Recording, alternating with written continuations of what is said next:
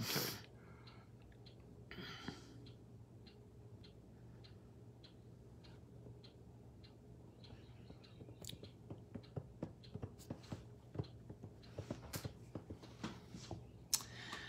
The dead will rise, righteous meet in the skies, going where no um, one dies, heavenward bound.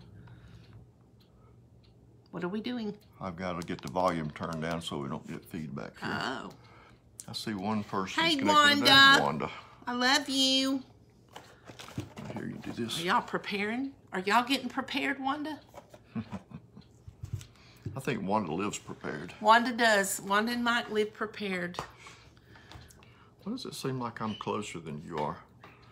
Why does You're my head look? Why does my head look so big?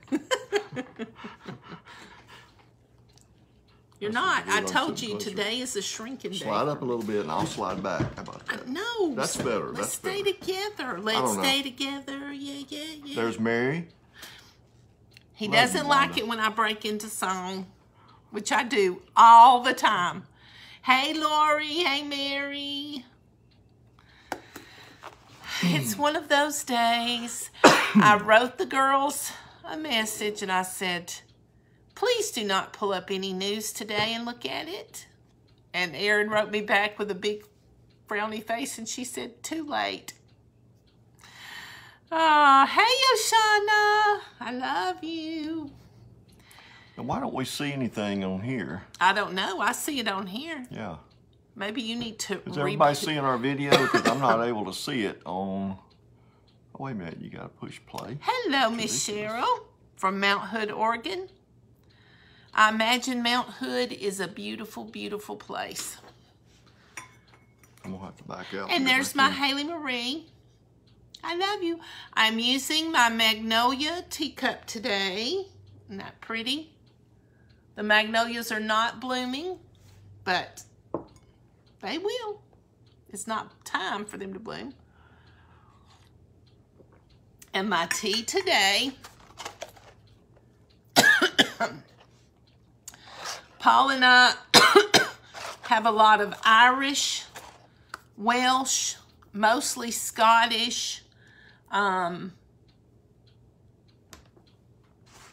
Scandinavian blood. We have a lot of A lot uh, of red blood in, in a lot of red blood, but we are we are definitely of that sort. French, Lori, you know, there's just a lot going on in the news and um, a lot going on in the world and I told the girls, I said, I'm, I, I am amazed at how the Lord has brought us to the Bible study, which is titled Focus, because if y'all use a camera that has a zoom or anything like that, if it has an auto zoom, you know, you can be focused on a bird on the limb of a tree. But if there is a leaf closer than that bird, the camera will try to focus on that leaf and you your bird will be all blurry. You know what I'm talking about? And it's that way with us as humans, and I think women even more so. We we have a focus, but sometimes other stuff kind of gets in the viewfinder. And it draws our eyes away and our thoughts away and our hearts away so that we forget that thing we were actually trying to focus on, which of course is Jesus Christ. So when you look at the news, sisters, and Pearl is on the porch. Are you going to go get her off the porch? I am. Our big Great Pyrenees, somehow we did not latch the door, and so the Great Pyrenees is up on the porch, and she is muddy, muddy, because we're in rain. Anyway, where was I? I got lost. Um, anyway, our Bible study, you know, we're doing on focus, and we need to keep our focus. And on the news, it's easy to focus on the negative. It's easy to focus on things that seem hopeless. They're out of our control completely. And so when we get stressed or we get panicked or we say, What's going to happen? What's going to happen? We know what's going to happen. We know who our provider is. So, so keep your focus there and don't let other things jump in the way. And we are getting lots of comments. So let me look. I see them popping up in my peripheral vision. Um. Oh, thank you, Mary. I do sing a lot. I don't know why. Um. Oh, Cheryl, we sure will be praying for that vertigo. That is a rough thing. Our daughter-in-law Chrissy has that. Yeah. Um, hey, Carol, nice to see you on here. Hey, Courtney. Um, yeah, yeah, Lori, there is some stuff happening, but just don't look at the news today. Just keep Actually, your eyes off um, of it. There are days when I wished I'd never looked at the news. Yes. There, there, Angie and I discussed it in the past two, three weeks. It's like all the gates of hell are open and people are doing horrible things to the to each other. Children, the, the headlines, without even reading the article, it makes me want to scream and I couldn't I couldn't even read it to her. I'd say Don't read don't look it. at the news Don't look at the news. because the headlines are horrible. That's right. Marianne, hello. Roberta, Katie. Um, there's no truth on the news. Well, Katie, we'll add him to our prayers too. And if I miss saying hello to anybody, forgive me. I want to always say hello to everybody. I love y'all and I love that you're here with us. And um, so are you? Oh, Mary, me and you, girlfriend, we will be in that heavenly choir together. We will make a joyful noise. Paul sings so beautifully, and he's so kind to me. He never corrects my singing. But I'm sure he goes, and then he thinks, it's a good thing I don't hear well anymore. Hey, kids. Hey, Isaac, Charlie, Leah, Levi, baby Charlotte. Granny loves you. we sure will live, Dan.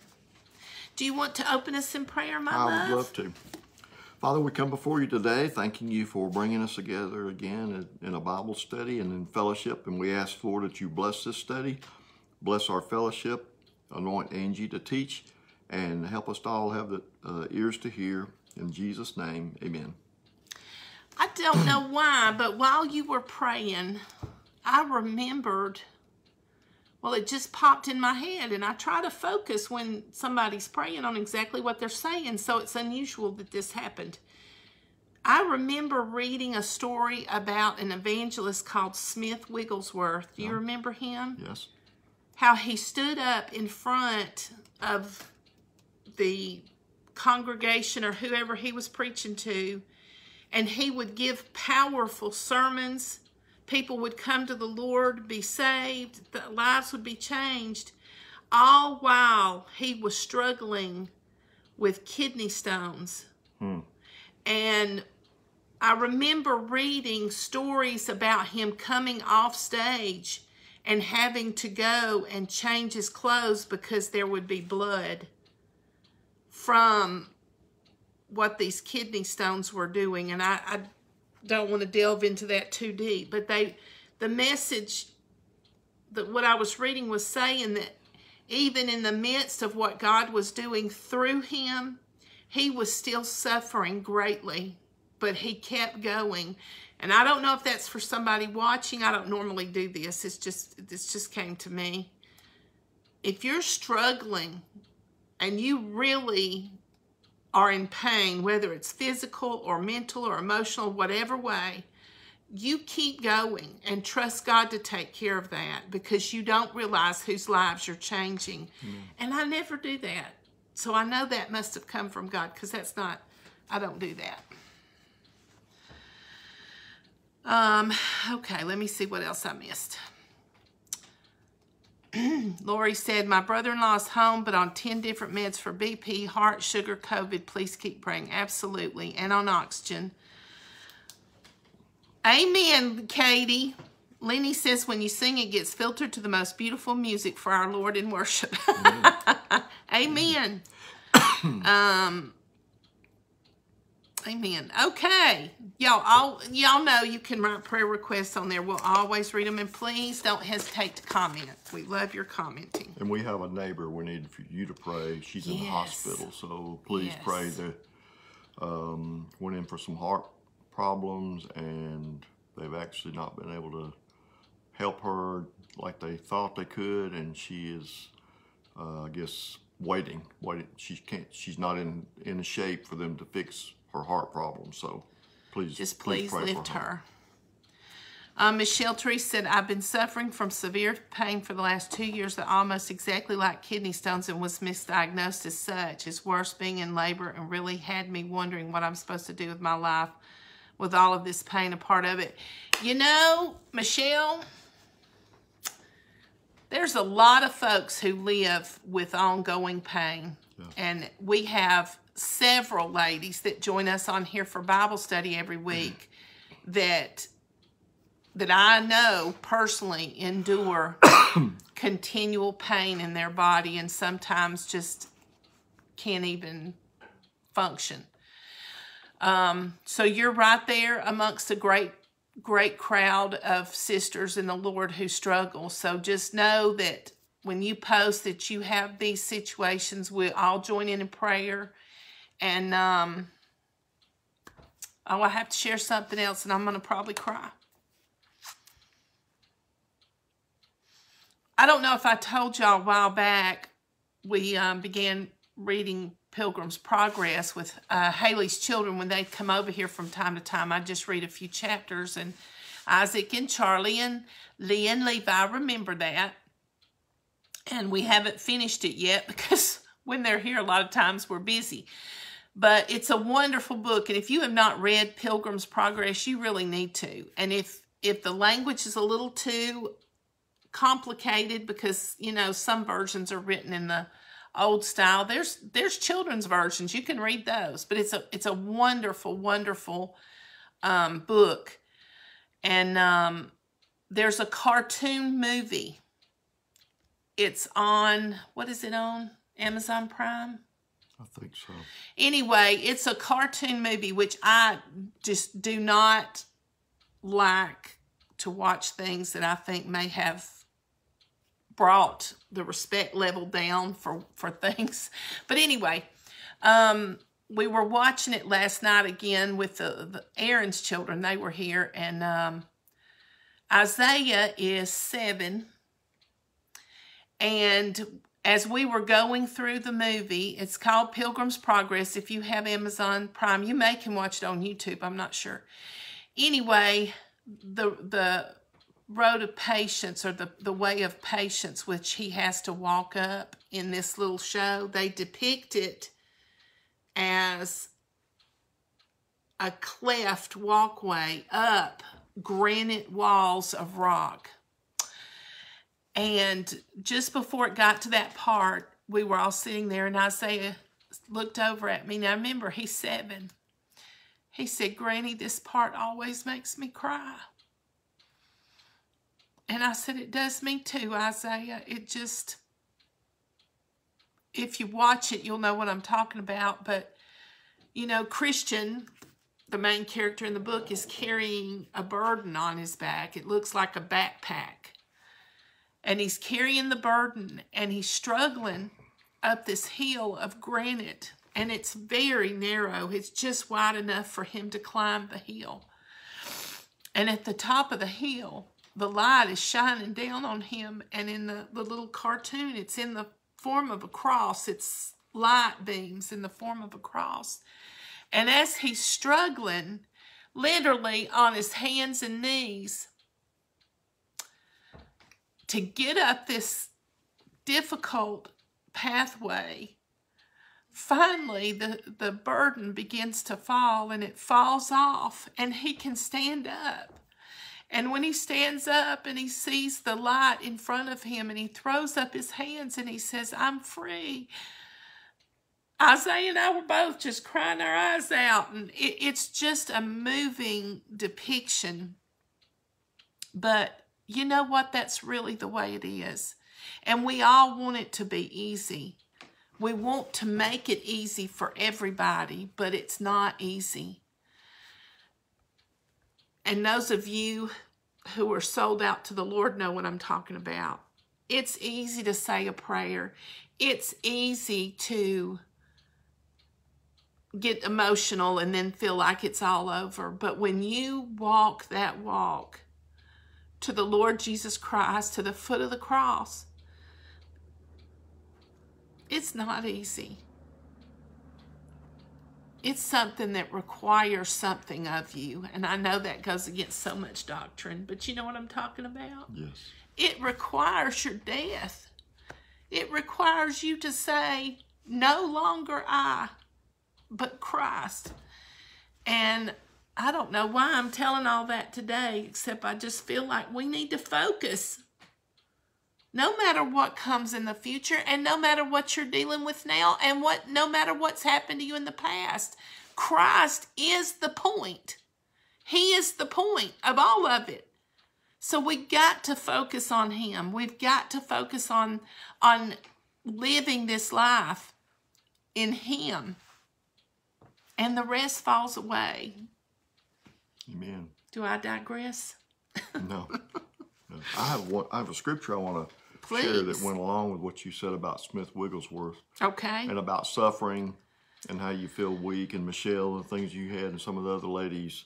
Uh, 2 Corinthians 12, 10, Paul said, Therefore I take pleasure in infirmities, in reproaches, in necessities, in persecutions, in distresses for Christ's sake. For when I am weak, then I am strong. Amen. So when you're weak in the flesh, you're strong in the spirit. That's one of the reasons why fasting, um, denying your, your flesh of things, that's one reason why it focuses you on spiritual things. That's right. We have a dear friend right now going through a battle for her family.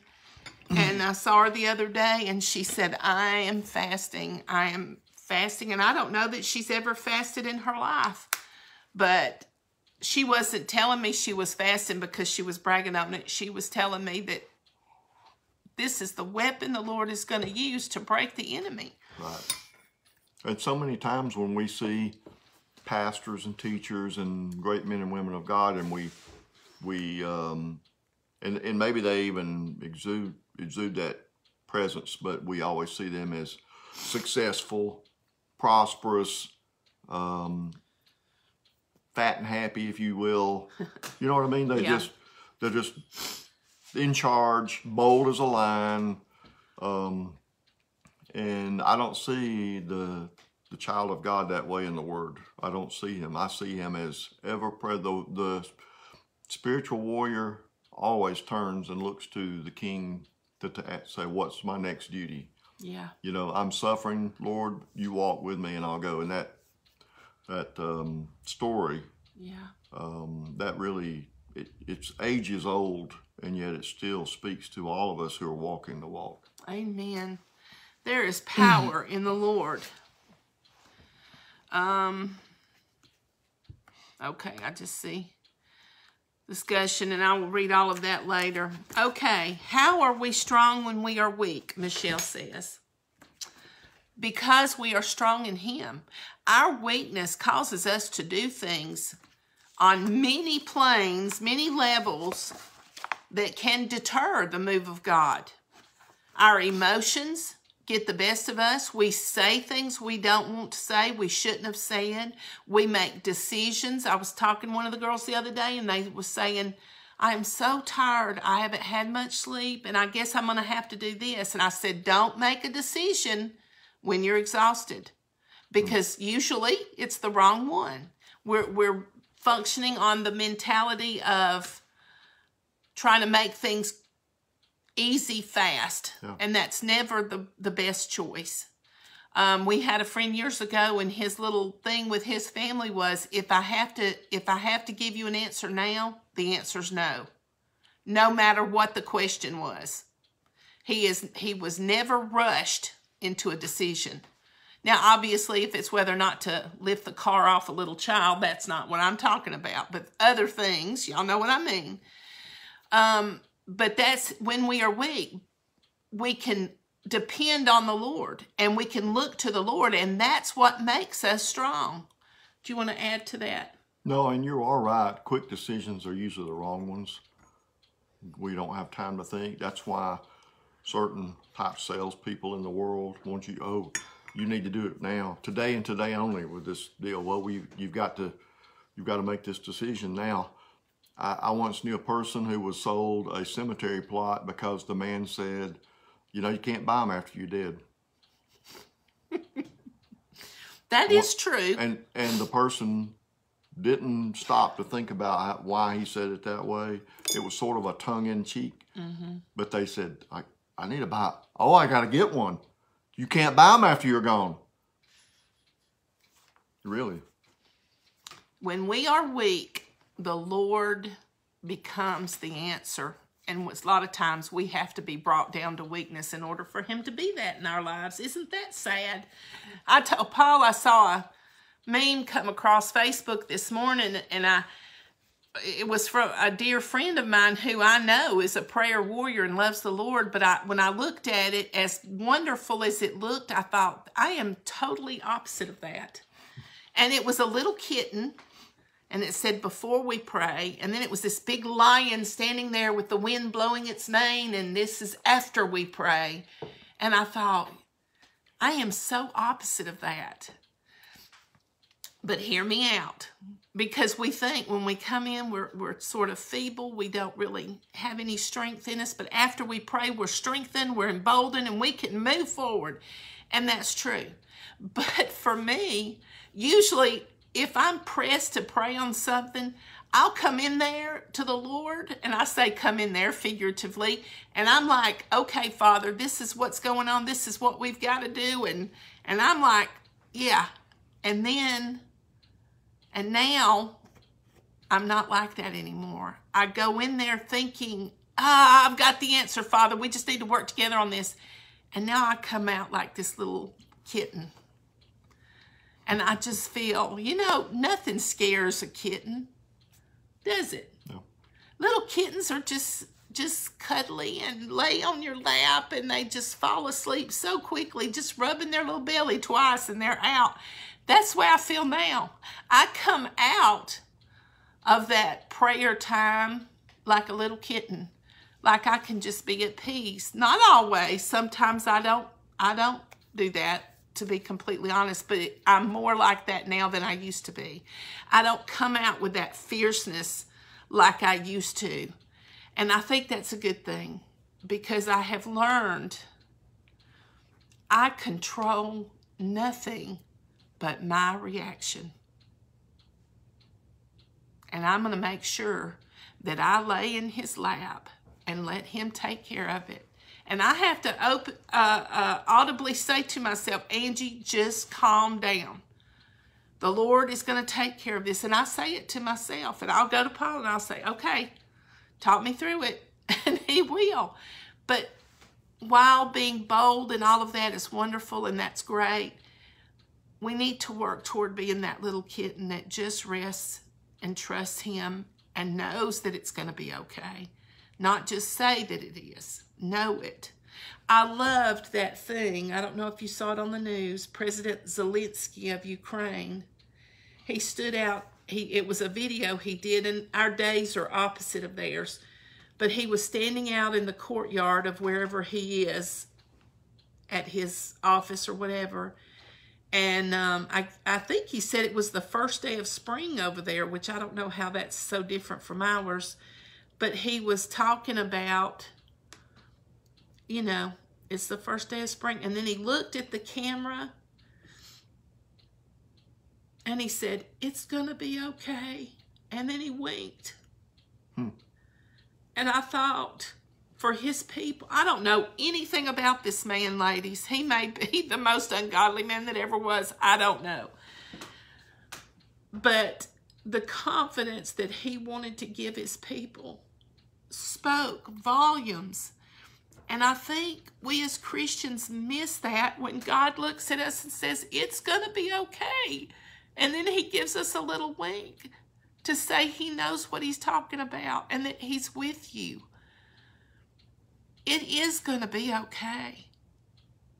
Whatever happens, mm-hmm. it's going to be okay if we walk in faith and focus on Jesus Christ. And now I've talked almost 30 minutes and hadn't even started my lesson. That's okay. You did a little singing too. Did a little, you want me to do some more? Go ahead. This is, this is your Bible study. And listen, those aren't dumb questions. Never, never. Yes. Um, And I, and I will add to what the other ladies have said to Michelle about the question is um, there are no dumb questions if you need to know the answer. And the, and to me that the answer is that when we're weak in our bodies, we tend to more let, let the Lord do it because we can't do it. So not just weak physically, but weak in the flesh. Of we can't a situation we can't control. Uh, and what Paul was talking about, all the infirmities and the weakness, it's truly the controlling it with your your spirit man, right? amen. You're you're truly giving it over to God, and you can. I've seen I've seen little uh, grandmothers in the nursing home, great grandmothers that were absolute prayer warriors. They couldn't feed themselves, but they could pray, They could pray. and and you would go in there and you'd feel the presence of God, and you'd say, "I'm going to pray with you," and you'd pat them on the back, and they say, "Can I lead it?" And they would just, boom, you know, and um, it, it really taught me a lot that we don't we, we shouldn't be dependent on our physical strength our physical um, uh, qualifications you know we Or our knowledge. or our knowledge a lot yes. of us know a lot of the word. We know a lot of it. We can quote it backwards and forwards, but that doesn't that doesn't mean everything. No. You got to know the one who wrote it. yes I don't mean to be so teary. Y'all forgive me. I'm grieving over over things that are happening, but I'm also thankful. That's what this whole discussion is about. When we can do nothing, we know who can. So let's get into Sarah. sarah Sarah with an H. um, of course, let me go back over very quickly our Bible studies. This this section of Bible studies is focus, um, faith, obedience, contentment, understanding, and service. And um, I want to read to you the two quotes that I said I was going to try to cover every time. Doctrinal distortion is a rationalization of our behavioral self will. Don't distort the doctrines of the Word of God. They are always in agreement, they never disagree with one another. The Word of God is truth. Everything else is opinion, interpretation, whatever. Make sure that what you believe is what is written in the Word of God. And don't get tangled up with other things. If your doctrine came from listening to somebody else, it's not on a firm foundation. Get in the Word of God yourself, read what He says, and when you realize and you agree with the Holy Spirit, or yeah, you need to agree with the Holy Spirit, not make the Holy Spirit agree with you. Then you're on a firm foundation. Then you can begin to branch out and listen to other teachers or other uh, ministers. But you know, you need to know that your foundation comes straight from the Word of God. Um, then the second one is there is no revival without painful re examination of the truth, without a preparedness to obey the truth. And there is no true reformation unless accompanied by the reviving work of the Spirit of truth within us. Doesn't matter how long we do Bible study, we can do it for the next hundred years. The only thing that's going to change anything for anybody is a willingness to examine the truth and make the changes necessary in our own lives based on the truth. Okay? And that was by Jeremy Jackson, that last um, quote. And you're looking at the, uh, hey, Miss Lenny, I love you. The, tr- the word does not compromise. Nope. It's not emotional. It doesn't change with the, the circumstances or the news. The truth is the truth. And science is not the truth. No. Because science changes every day as we have. There's actually a line in the bible that says science falsely so called Really? Yep. How interesting. science falsely so called So um, we are on Sarah. We did Eve the last time. And so we're doing Sarah this time. This will be a two part, if not a three part, because there's a bunch there for us to learn from Sarah. one of the best books I ever read was called The Daughters of Sarah. Um, Sarah was born in Ur of the Chaldees, and Ur, spelled U-R, is actually where Iraq is today. Um, she was born in, well, you know, do we know for sure, but 1986 BC, and she lived until 1859 BC, approximately 127 years. Um, amazing. Her whole story is amazing. She married Abram before they left on their journey. She was barren, as was noted very early on in, in the word about her. And um, there's, there's a, mm, you know, we were talking, what was it, two weeks ago about incest. Did mm. Adam and Eve's sons and daughters married each other and wouldn't that be considered incest? And we went over how they were clearly giving birth to children over a long period of time. And some of the children, you know, were born, grew up, moved away. Other children were born, grew up, moved away, and they may have never even met each other. Um, and, and DNA was pure at that time, so there was no concern about children being born with birth defects because of, of interlinear relations. And, but there did come a time when the Lord said, we're not doing this anymore. This is stopping. Um, but those were just little bits of information about um, Sarah. So let's go to faith. Faith grows as you get your eyes off of yourself and your problems, your limitations and failures, and onto the living God, the Lord for whom nothing is impossible. That was said by Colin Smith. Let me read that again. Faith grows as you get your eyes off of yourself and your problems, your limitations and your failures, and on to the living God, the Lord, for whom nothing is impossible. I thought that was pretty good. Mm-hmm. The word uh, in the Strong's Concordance in Hebrew is iman, which means faithfulness, trusting. In Greece, it's pistis, which means trust, confidence, fidelity, strong conviction. Do you have faith? You must have had faith at some point because you can't come to the Lord without it. But do you walk in faith? Um, let's read Genesis chapter 11, 27 through 31.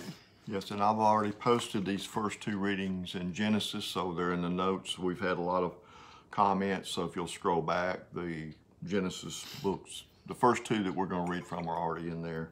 And this is Genesis 11, 27. Now these are the generations of Terah. Terah begat Abram, Nahor, and Haran, and Haran begat Lot. And Haran died before his father Terah in the land of his nativity, in Ur of the Chaldees. And Abram and Nahor took them wives. The name of Abram's wife was Sarai, the name of Nahor's wife, Milcah, the daughter of Haran, the father of Milcah, and the father of Iscah. But Sarai was barren, she had no child. And Terah took Abram his son, and Lot, the son of Haran, his son's son, and Sarai his daughter-in-law, his son Abram's wife, and they went forth with them from Ur of the Chaldees, to go into the land of Canaan, and they came into Haran and dwelt there.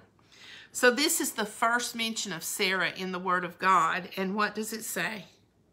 She was Abram's wife, and she was barren. So her marital status and whether or not she had kids. Not a lot, these are. Nope. And yet, look at what she became to all of us. She was married and had no children, and that was her label. We don't like to talk about labels. We don't want to be labeled. Nobody wants to be labeled. We all use labels. We all use them. And it's okay. Sometimes we get labeled ugly things. There's no reason to get mad about that. Don't get offended. You know who you are. You know whose you are if you're born again. Don't let that stress you. But as a woman, especially in this time period, being called barren was torture. Obviously, everybody else in the family had kids, but she did not. And that's something I want you to keep in, in, in your forethought as we study, because there are things that all of us feel like we should have accomplished or we should be accomplishing, and for some reason it doesn't happen. And and and when we have that situation in our life, it is easy to focus everything on what is not there. It's like a spinster. Yes, Someone being labeled a spinster, because she never married. and she spun a lot. And you know, She was spun in circles, she spun in circles. looking for a husband everywhere. Spinster. silly. But it's important to realize that everybody who has a brain, and we had a nice discussion with Polly about that last night. Everybody who has a brain has something that they wish that they could have done or still want to do. I would love to have raised horses. We had horses for a short period of time. I would have loved to have raised horses, but that is clearly not in the plan for my life. I don't know. It may be soon. We may have to go buy a horse or two. Um, so I wanted to start right there to keep keep your focus on that for just a few minutes. Now, Genesis 12, 1 through 5. Now the Lord had said unto Abram, Get thee out of thy country, and from thy kindred, and from thy father's house, unto a land that I will show thee. And I will make of thee a great nation, and I will bless thee, and make thy name great, and thou shalt be a blessing. And I will bless them that bless thee, and curse him that curseth thee, and in thee shall all families of the earth be blessed. So Abram departed, as the Lord had spoken unto him, and Lot went with him. And Abram was seventy and five years old when he departed out of Haran. And Abram took Sarai his wife, and Lot his brother's son, and all their substance that they had gathered, and all the souls that they had gotten in Haran. And they went forth to go into the land of Canaan, and into the land of Canaan they came. I want to ask you a question. Look in verse 3. And I will bless them that bless thee, and there went some thunder, and curse him that curseth thee. Why the plural on the first part and the singular on the second? Do you think? I don't know. Maybe uh, it is. It might be by grammatically saying them. It might be those bless those that bless thee, not necessarily a group, but them. It didn't say bless him that blesseth thee. That only I don't even know if that's proper in King James English to say bless him that blesseth thee. I don't know. There's little things like that in the word that I, I I don't think are mistakes. I think there's something there, but I don't know the answer. And I just wanted to point out when you're studying your Bible, don't get hung up on little bitty things like that unless you believe the Holy Spirit is showing you something. Then study it to the hilt until you get the answer the Holy Spirit has for you. Um, so I I want us to follow Sarah as she's traveling. Remember, she's got no child to watch after. She's got her husband, she's got her nephew and her father-in-law and all of them that are going with them. Um, in verse 5, and Abram took Sarah's wife and Lot his brother's son and all their substance that they had gathered. now Lot's father died, right? Right. So obviously, Abram wants to make Lot his heir. At least he could take care of his brother's son, and this will be, you know, blood, a blood kin. And, you know, over time, we see that that was a common mistake for them to try to gain an inheritor for their their being. Does that make sense? Yes. Okay. Um, Hebrews 11 11. Through faith, also Sarah herself received strength to conceive seed and was delivered of a child when she was past age because she judged him faithful who had promised. Now, what I wanted to, to do on these three sections of scripture is to show that this woman did not have a perfect situation. She did not have the classic home and family and babies to take care of. And, you know, she had a situation here that none of us would admire. I don't know about y'all, but I would not want at my age for my husband to walk in the door and say, honey, we're moving. We're out of here. And then you got to pack up everything and heaven forbid get on a camel and go out to somewhere you've never been and try to start a whole new life there and then have to do it again. And and the whole time not having children to help her, but also wanting children. And, and in my mind, I got this vision of a truck driver that his wife has to go with him, and they've been trying to have babies for years, but they they're on the road all the time. They're for, go go go, and this is Abram. He's moving, and he continued yes. to move. He didn't just go to one place. That's right. It was a continual sojourning until he got to where God led him. And you know, I think about Sarah. I really do think about her all the time. She was not brain dead. No.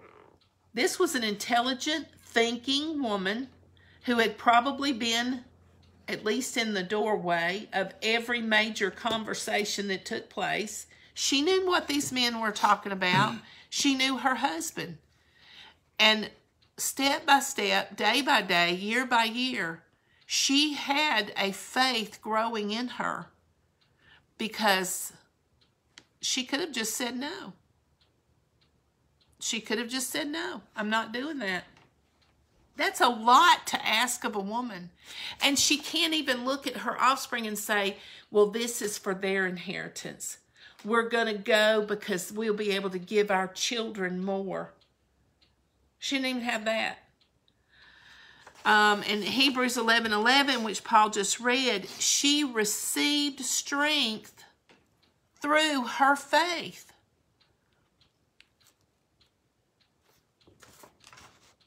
To me, that's one of those lines that needs to be put on the refrigerator. My faith will strengthen me. It will make me able to handle what's coming next. You must have faith. What is faith? Trust. Trusting confidence. Fidelity, that means not wavering. Strong conviction. And like I've said before, in the Psalms, we see David or the psalmist continually encouraging himself. Lift up your eyes. Praise the Lord, oh my soul. Sometimes you got to do that. And right now, you really may have to do it more than ever. But don't do it out of fear. Do it because you know who God is. And you know he's got your best. Galatians 3.29 And if ye be Christ's, then you are then then are ye Abraham's seed and heirs according to the promise. Galatians New Testament, Galatians 3:23. 29. 29. If you are Christ, you're heirs because of them. I mean, I know that Sarah is up in heaven right now. And I don't believe that when we're in heaven, we'll be able to look down on people here on the earth. But she's got to see. She's got to see standing in heaven, worshiping at the throne, the magnitude of the faithfulness that she lived on this earth. She went through some really rotten, unfair things. Yes and apparently kept her mouth shut. And apparently. We don't read that she didn't. Yeah. She didn't backtalk. Right. She laughed. We're going to get there. Romans 4 20, 21. And being not weak in faith, he considered not his own body now dead when he was about a hundred years old, neither yet the deadness of Sarah's womb. He staggered not at the promise of God through unbelief, but was strong in faith, giving glory to God and being fully persuaded that what he had promised, he was able also to perform. This is talking about Abraham, but it's also talking about Sarah. Amen. As a woman, and I'm 58 years old, I have gone through my reproductive years. I have born my children. I have lost children. And and my time of life has shifted. My womb is no longer fertile. Aren't we glad this is a women's Bible study? And Paul knows this. My womb is no longer fertile. I'm not going to be bearing any more children. Thank you, Jesus. I can't imagine. That wouldn't be so bad. Wouldn't be so bad. I can't imagine for a woman who was not blessed to bear children in this time period. I mean, when Abram and Sarah lived, there was no infertility clin or fertility clinics. There was no surrogate pregnancies, although we're going to read about one. It didn't quite work out. No. Um, every day moving forward, knowing that you do not have someone to pass on everything that you're living for, that is hard. It's hard. I want us to really get a picture of who this lady was. She was not just some matriarch of the Christian and the Jewish, and she's just, this was a woman, a real woman living out in the desert with a man who seemingly couldn't make up his mind. This was a woman who suffered from heat. I don't know if their food situation, if she always had food to eat. There could have been days when she didn't. She struggled, ladies, but her faith strengthened her to move on to the next day. And when things are looking really rotten in your life and they don't make sense, and you pray and you pray, I guarantee you, Abram shared his faith with his wife that there was a God, a real true God that loved them. You know that he told her about this God that he believed in. And he built her faith up. But her situation was not changing. It wasn't looking good. We just got an angry face, I think. Um, it wasn't looking great. It was sorrowful. It was sad. Yeah, I'm sure she had a good time from time to time, but it's always back there in the back of your mind what's not available. Do you think I'm right? I'm sure you are. They didn't even have cable TV. They didn't have cable TV. They couldn't read a book. have a cup. Well, they may maybe they had a cup of tea. Oh. I don't know. He staggered not at the promise of God through unbelief. He didn't waver, and he had he was building up his wife, but his wife could still see his failures. His wife could still see the things that weren't right, as we're going to get to. No flush toilets, no running water. That's right. Um, and he was fully persuaded. And you know, when, when you have a husband that is fully persuaded, sometimes in a good way and sometimes in a not so good way. but when your husband is confident, it really gives you a place of peace and safety. And for those of you who don't have a husband in your home, maybe he's not born again. Maybe he's not walking with the Lord. Maybe you're a widow. Maybe you never married. God is your husband and he will not fail you and he does not waver. Try really hard, ladies, to get that into your daily, constant thought process. God is my husband. I am not alone. Okay? But that's how your faith grows, little bit by little bit. And I think that was very, very, um, I don't think the, the mustard seed faith is taught enough. We only need a little bit of faith for miracles to happen. Amen. But you know, if if y'all aren't gardeners, you're just going to have to trust me on this. When you have a mustard plant that sends up a seed stalk, when that when that thing goes to seed, one plant produces thousands of little teeny tiny seeds. They're everywhere. And if you don't want that mustard seed to grow into new plants, you got to get out there and clip that thing off into a brown paper bag. And I did it many times saving seed because those seeds go everywhere. So every time you use even a tiny seed of faith, it can produce like you can't imagine, not just in your life, but in all of those around you. It's amazing what God can do with just a little bit from us.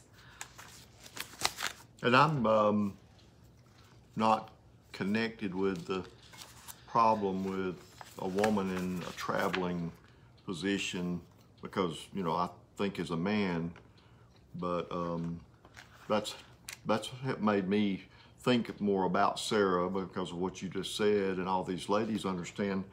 You know, this home has the reflection of Angie. Everything about it. Every room is decorated by her, and I have a shop where all my stuff is there, and and so it helped me to think about you know not having to be able to decorate your home or whatever. We've got a camper that we pull to some local campgrounds and it was like a little playhouse for Angie. The first thing she did was she wanted to decorate. Can't you know? help it. She wanted to put her pots and pans in the cabinets and all that, and they didn't have that.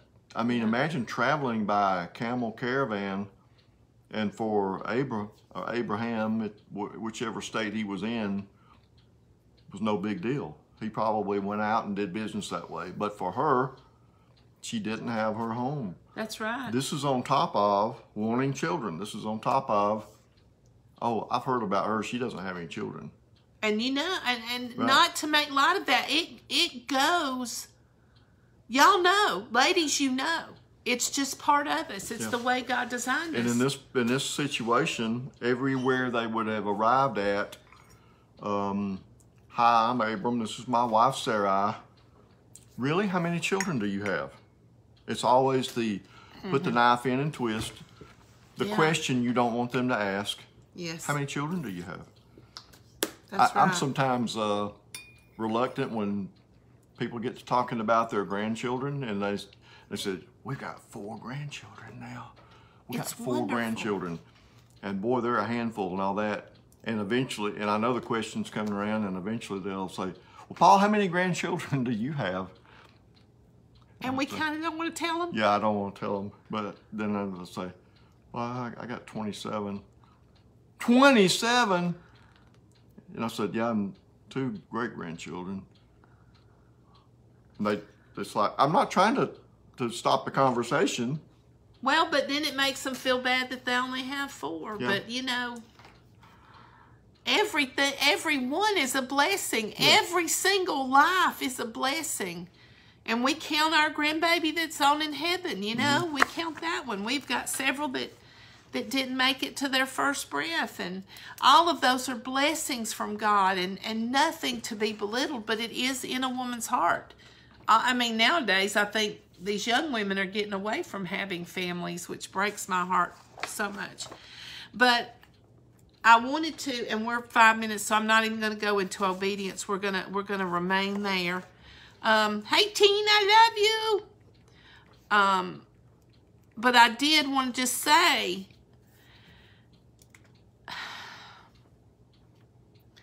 Sarah, next week we're going to talk about her obedience. And in some ways, I remember saying in my younger years, if my husband had asked me to do that, he'd have been walking crooked. There's no way I would have done the things that Abram asked Sarah to do. But we see now that even the, the rotten stuff that she had to endure was for a reason. And I think if we if we have situations in our life that are very painful, even things that are our own fault, ladies, let's just be honest, even the stuff that we cause to happen because of our foolishness or our disobedience or whatever, God can use every single bit of that for good. But if you don't walk in Him, if you don't love Him, if you don't have faith in Him, if you don't trust Him, what does that all end up being? Just horrible memories. I, know, I have horrible memories. I have horrible memories. Things that I continually have to submit to the Lord. But I know that if I commit to the Lord, every time those things pop into my head, God will use them for good, for me and for others. You know, the babies that I lost, the, the horrible loss of, of babies, children, miscarriages. I can't tell you how many times I've been blessed to be able to minister to young women who've lost children to share with them things that I learned and, and things that I was told by my doctors and help them and build their faith. There, there's just so many avenues all of us have, and every one of you, I bet, are thinking about it right now of things that you've endured that God has turned around and allows you, allowed you to use in sowing seed in somebody else's life. You know, when we, we have the barn and the livestock, and where there's livestock, there's poop. It's everywhere. I remember that little Boys and Girls Club that came to the house when we lived in Talladega, and they came and they to see the animals and all, and this one little girl who had never been around any kind of farm animal, and she was walking through the corral. Now, we had sheep and goats, and they're, they're let's don't get gross, but seriously, their poop is not in a pile. It's little pellets and when they walk, they just drop pellets. And and um, she was like going crazy. She said, I don't know where to step. And her leader said, well, just, you know, step over. And she said, you can't step over. It's everywhere. Well, when you have a, a feeding area with about 30 sheep, it is everywhere. You know, you have to go in there periodically, rake it, put out fresh hay. All of those little pellets end up feeding plants in the garden. Okay, grass fat. The manure is composted and then put into the garden to grow plants for our family to eat. So all the little nasty stuff is used for our good on the farm. The same way in our life. Every horrible, nasty, ugly bit that has happened to you in your life, God can turn around that thing for good for you and for those around you. So don't begrudge those horrible memories. Allow the Lord to heal your heart. And when you can remember, I told this years ago in a Bible study about memories. It was called Jump Through Memories or Jump Through Pain. It's on our YouTube channel if you ever want to go listen to it whenever a memory of a tragedy happen comes to you, if it breaks you again, if it leaves you so emotionally in turmoil that you just can't function for a while, you're not healed. You need to go back to the Lord and pray and work with Him on healing your heart in that area. But when you can remember something, even devastating things, and not not be emotionally broken, not sob into your pillow. You can look back on those, recognizing what they were and and and then move forward, then that's healed in you. And that's a beautiful place to get to.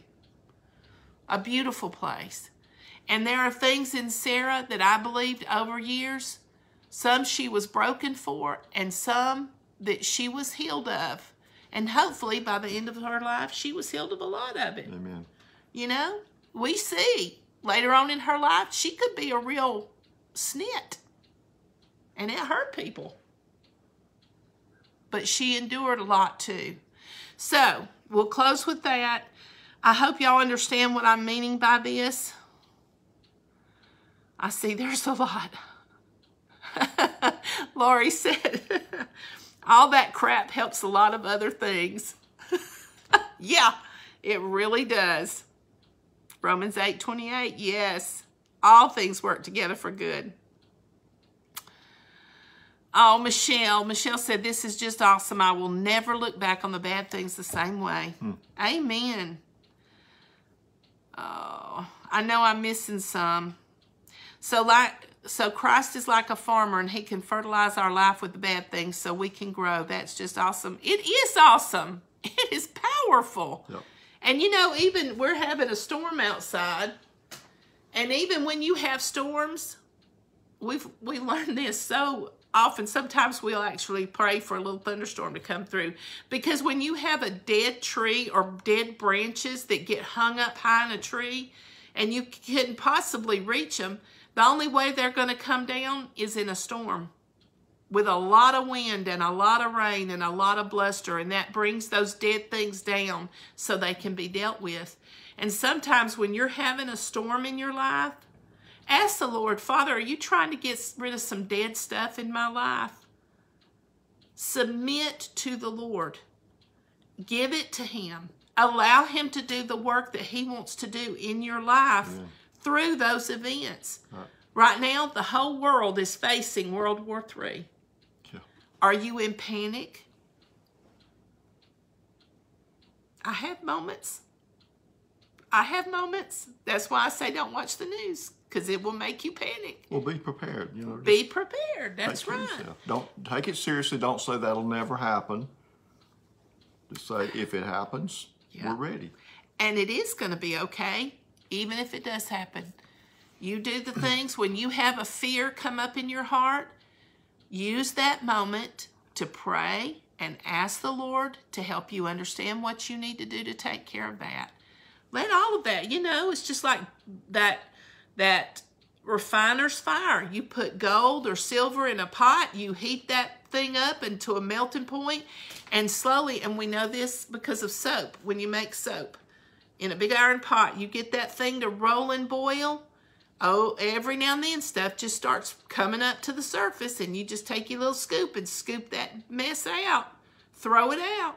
That's the that's the beauty of a refiner's fire, getting the crud out. And then you've got pure beauty. If you've never made soap in a, in a pot and poured it up into your molds, oh, it is so beautiful, isn't it? Just just soft and velvety looking, and all of the crud is out because you tended that thing. So tend that thing in your life and get rid of that fear and get rid of that panic. And I'm working on that myself. We all are. That's why I can share it so freely because I know what you're going through. We love y'all. And I hope y'all have enjoyed it. I have. I'm going to go back and read all these wonderful comments.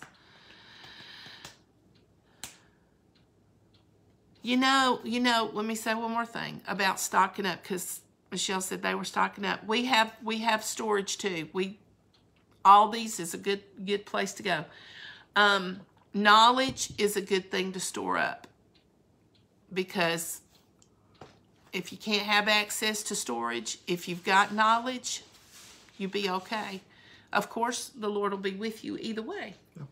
But knowledge is a good thing. Learn how to take care of yourself, even if you was walking out in the woods, right?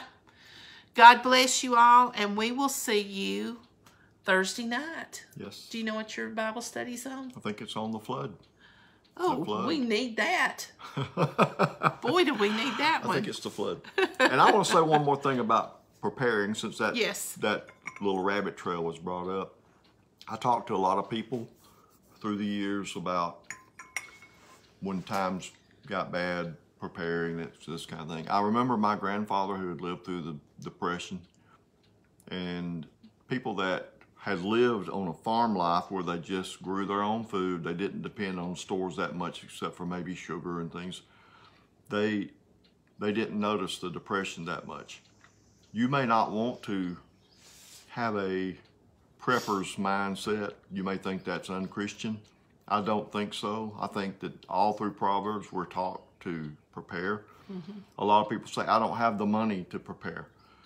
If you, in your grocery shopping, will buy one or two cans, one flat, if you go to an Aldi's, we buy a flat of one of vegetables and put those up. You, if you don't have room, slide them under your bed, put a date on them with a magic marker, and use those things. Um, FEMA in our country, those of you who are in our country, FEMA tells everybody to, to have three months supply Tina's down there where hurricanes come in. I know she knows about this because she's had to endure weeks without power. Um, there could be trucker strikes. There could be um, a drought. There could be a, a war go on somewhere.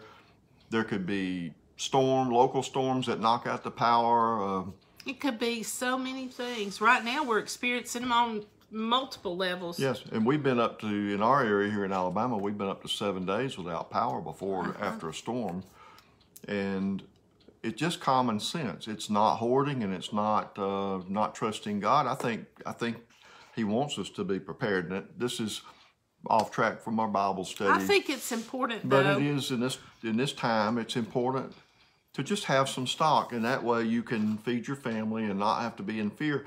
I mean, think about it. If you're obedient and do what God's told you to do, in preparing, the ant puts up for the winter. In Proverbs, it says, if you prepare that, when the storm comes, you won't be crying out to God, "How am I going to eat?" And you only buy groceries every. I, I know in the big cities, sometimes they only buy groceries every day or every two days. They buy it on the way home. They don't stock up much. Yeah. You can't live like that. The world is changing, and um, you're not being a a weirdo prepper like the world wants to paint preppers. You are being someone who takes care of your family. wise. Just be wise. Be wise and. Um, And you know, one of the things, uh, and I was telling the girls the other day, one of the things a friend of ours does is she goes to buy one, get one free sales. And the one that she gets free goes in her little storage closet. Um, for those of you who are interested, we have uh, some canned goods racks that I built, and Angie might want to take a picture and share it with anybody that wants it to see a picture of it. I sort of designed it myself and, and all that, but it's uh, troughs where you drop the cans in, they go down, you can see exactly what you have. She keeps corn and beans and all that in each one, and that way you use the oldest stuff at the bottom first.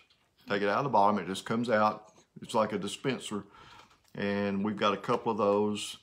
Uh, if you've got wall space for it, um, Well, just sliding stuff under your bed. sliding stuff putting under your bed, but make sure you date it. Canned goods store for years. They do. And I'll tell you something medicine. I was talking to my doctor one day. We were up there having we we go to our doctor together and have our checkups. We have a wonderful, godly man that's our our local physician. Anyway, we were talking about medications and and you know, I told him I said I had a little concern about the supply chains getting cut like they have been here for a while and so many of our medications coming from overseas. And we talked about that for a while, and, and he was working with us about that. But he said, Let me tell you something about old medicine. He said, Unless you store old medicine in a hot place with sunlight, he said, they'll last a lot longer than you realize. He said, if anything, the potency might go down some, but but for the most part, if it's stored in a in a cool, dry, dark place, it, it will last.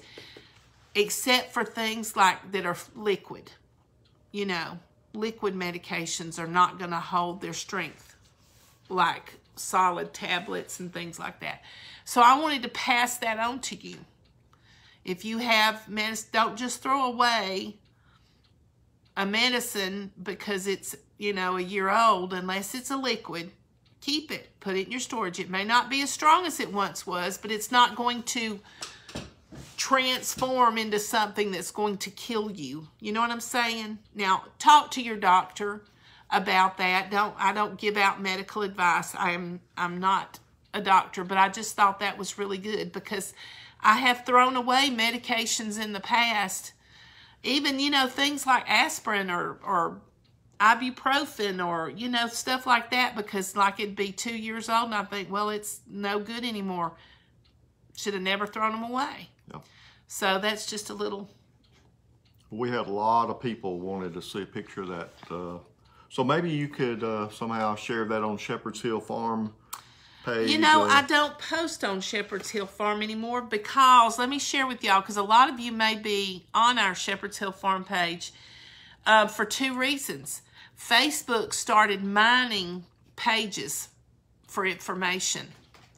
Um, there were a lot of hackers from overseas who were doing the robo bot, whatever that thing is, getting on there and mining those pages. And also, Facebook began to limit, like we had over 3,000 likes on our page, but they Facebook would only allow maybe 60 people to see what we posted.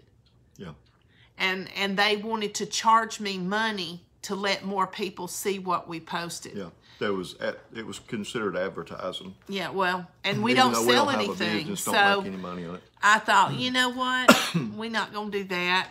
I may do it again in the future if I if I feel like the Lord's given me peace to do that. And sometimes I really wish we had our website back, but you know, we even stopped doing our website. We were, had over almost two million hits on that website over the years, but then the Chinese apparently found it and started hacking stuff. Um, maybe we can just share a picture in the text of this video on Facebook, and it'll be so. Come back in a bit, and we'll try to get a picture of that. Yeah, I'll put it on a comment. On That'll be comment, the best way. so- We love y'all. We're gonna quit now. We've talked for ten more minutes. I think it's good though. Um, y'all have a good week and see you Thursday night.